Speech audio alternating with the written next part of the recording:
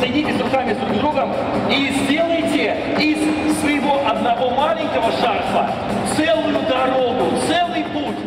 Масштабным флешмобом открыли Московский областной форум добровольцев в Химках. Более трех тысяч волонтеров со всего Подмосковья собрались на баскетбольной арене Химки, чтобы подвести итоги года. Почетными гостями форума стали вице-губернатор Московской области Наталья Виртуозова, министр правительства Московской области по социальным коммуникациям Ирина Плещева, а также руководитель муниципалитета Дмитрий Волошин. Самых активных волонтеров Химок глава округа наградил на сцене.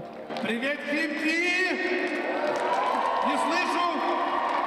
Очень важно, что волонтер, у него нет возраста, у него нет пола, он не привязан к каким-то религиозным моментам.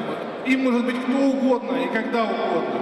Это люди, которые делают нашу жизнь лучше. Во время форума работала ярмарка добрых дел и выставка победителей регионального конкурса «Доброволец-2018». Итоги года волонтера подвели за круглым столом. Среди участников была Любовь Петрова. Девушка присоединилась к Химкинскому волонтерскому движению чуть больше года назад. И этот год стал самым ярким в ее жизни.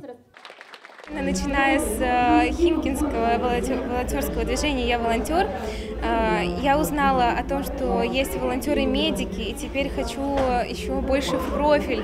Волонтерское движение набирает обороты. С прошлого года активистов в Московской области стало вдвое больше. Только по официальным данным подмосковных волонтеров больше 30 тысяч. Объединить такое количество неравнодушных и активных людей поможет новая платформа. Мы сделаем отдельную такую платформу, на которой будет возможность еще обратной связи, а также размещение мероприятий, привлечения на разные э, направления. То есть если вдруг нам завтра всем нужно будет сдать кровь, будет висеть анонс, и волонтеры смогут в прямом, а, в режиме онлайн записываться, говорить, кто придет сдать кровь или кто придет, например, на уборку какого-то леса или парка.